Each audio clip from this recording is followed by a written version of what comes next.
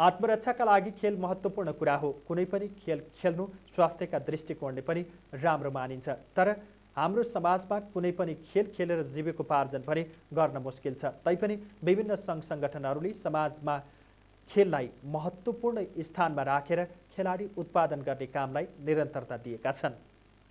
मानसिक र शारीरिक रूपमा तन्दुरुस्त बन्न खेलकुदले महत्त्वपूर्ण भूमिका खेलेको हुन्छ। यसले मानिसलाई शारीरिक रूपमा स्वस्थ मात्रै राख्दैन आत्मरक्षाको काममा पनि सघाउँछ। राजधानीको जोरपाटीमा भएको प्रथम राष्ट्रिय वादो कराते प्रतियोगिता दुई हजार चौहत्तरमा सहभागी सात प्रदेशका खेलाडीहरूको खेल कलालाई हेर्दा करातेका प्रशिक्षक रमेश कार्कीले खेलले मानिसलाई स्वस्थ मात्रै बनाउँदैन यसले आत्मरक्षा गर्नुका साथै देशको नामलाई नै विश्वमा चिनाउन सक्ने क्षमता रहेको बताए। खेलाडीहरूलाई सर्टिफिकेट सहित अब हामीले यो बाहिर टिमहरू आइरहेको छ उनीहरूलाई स्वतः त्यसमा सामेल गराउँदैछौँ।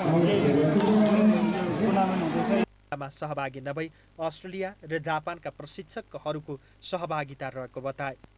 उनले प्रतियोगितामा सात प्रदेशका तिन सय खेलाडीलाई विदेशबाट आएका पाहुनाबाट प्रशिक्षण दिएर प्रतिस्पर्धाका लागि उतारिएको बताए। योभन्दा बाहिर पनि जान्छ होइन?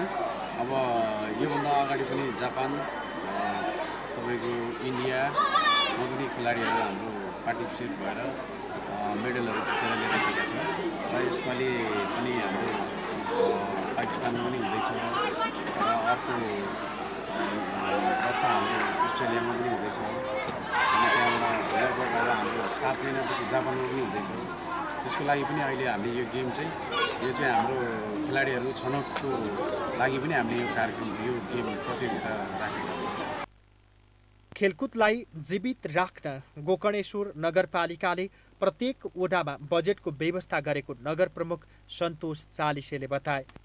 नगरभित्र खेलकुदको विकासका लागि तिन सय रोपनी जग्गा उपलब्ध गराइसकेको उनको भनाइ छ। म चाहिँ मेरो बचपनादेखि नै यो खेलकुदसँग सम्बन्धित व्यक्ति परेँ अब अहिले मेयर हुँदासम्म पनि मैले यो खेललाई चाहिँ नि आफ्नो एउटा त्यो जीवनको एउटा अभिन्न अङ्ग ठानेको छु। र मैले नगरपालिकामा आएपछि सम्पूर्ण वडाहरूमा जुन बजेट चाहिने व्यवस्थापन गऱ्यौँ हामीले चार चार करोड रुपियाँ व्यवस्थापन गर्दाखेरि एउटा विशेष सिम राखेर चाहिँ नि खेलकुदलाई भनेर पनि बजेट हरेक वडामा विनियोजन गरे अवस्था छ। र नगरपालिकाले पनि विशेष हिसाबले चाहिँ नि खेलकुदलाई चाहिँ नि बजेट व्यवस्था गरे अवस्था छ। खेलकुद क्षेत्रको विकासमा स्थानीय तहहरू समेत पछिल्लो समय सक्रिय बनेका छन्। केन्द्रको मात्र मुख ताकेर बस्ने संस्कारले खेल क्षेत्रको विकास हुन नसकेको सन्दर्भमा यो सक्रियताले ठुलो महत्त्व राख्ने निश्चित छ। ABC reporter Vinod Vishwakarma Kathmandu.